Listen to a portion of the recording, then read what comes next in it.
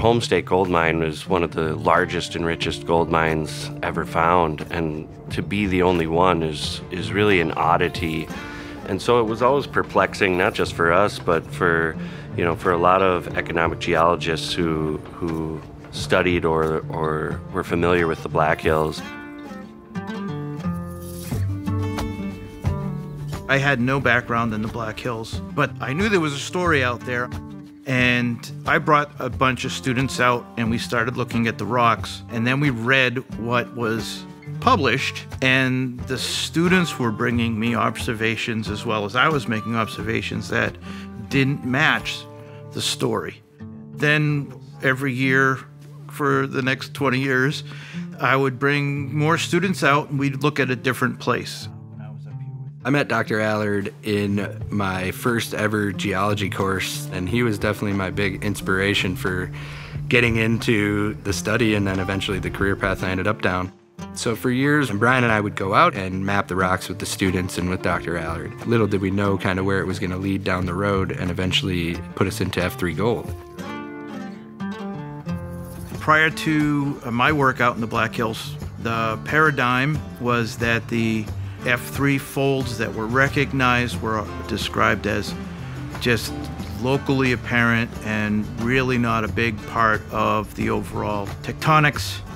These rocks are super important because it's those tectonic environments where minerals are accumulated in the past and where we go looking for them today.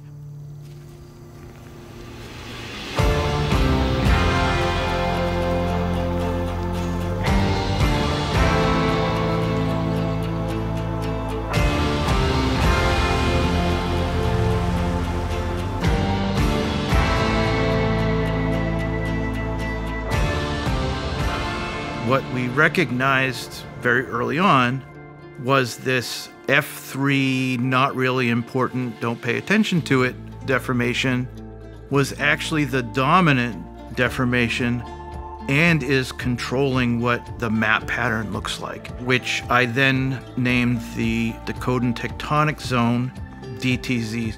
The entire Black Hills is this structure, and therefore, voila, we've got F3.